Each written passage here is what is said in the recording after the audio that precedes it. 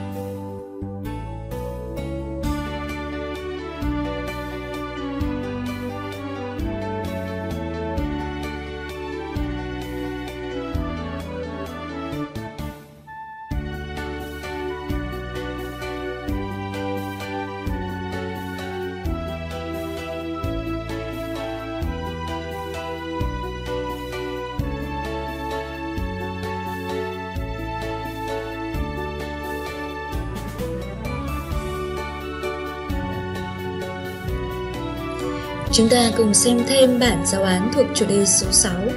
Chủ đề 6, gia đình là tất cả. Bài 11, gia đình yêu thương, hai tiết.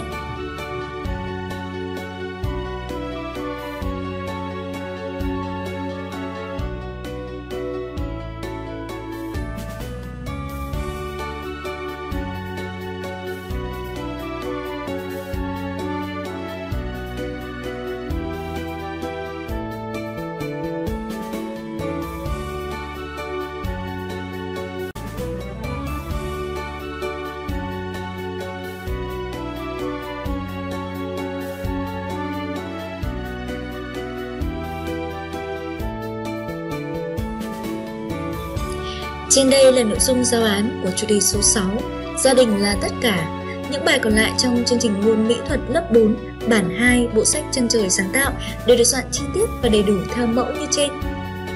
Giáo án khi tải về là giáo án bản quốc, do vậy thầy cô có thể dễ dàng chỉnh sửa. Để soạn được giáo án này, nhóm giáo viên mất khá nhiều thời gian và công sức, do vậy giáo án có mất phí. Ngoài ra chúng tôi có đầy đủ giáo án Word các môn của bộ sách Kết nối tri thức, chân trời sáng tạo và cánh diều cũng như có đủ tài liệu giảng dạy các môn từ cấp 1 đến cấp 3. Nếu quý thầy cô quan tâm, vui lòng liên hệ theo số Zalo trên màn hình hoặc truy cập vào website kênh giáo viên.com.